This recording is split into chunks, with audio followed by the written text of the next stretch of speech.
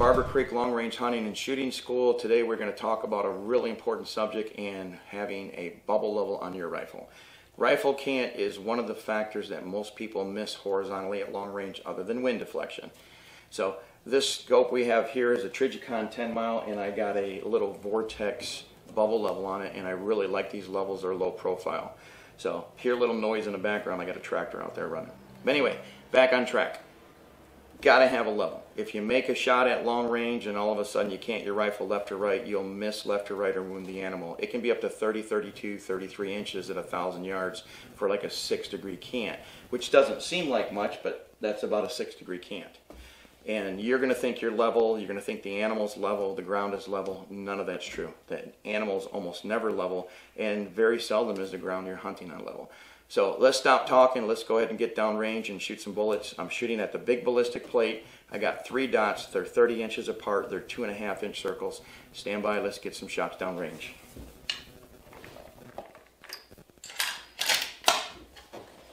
I'm already dialed. I used a ballistic rangefinder to get my data. I'm at 26 minutes of elevation.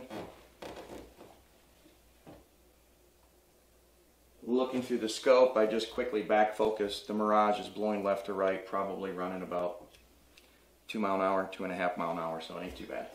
All right, here we go. I'm gonna give it just a little bit of left wind.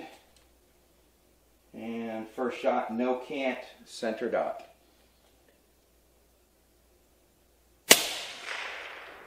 Okay, just above the bullseye. I'm gonna do the same thing and this time what I'm going to do is I'm going to cant the rifle to the left.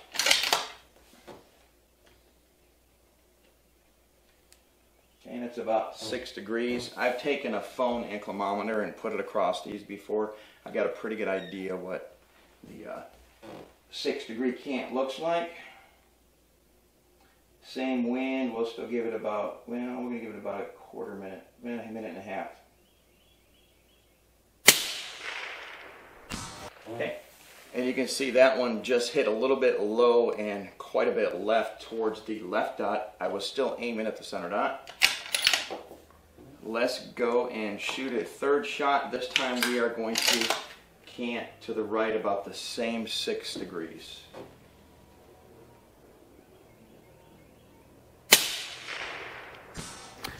And you can see how far that one went.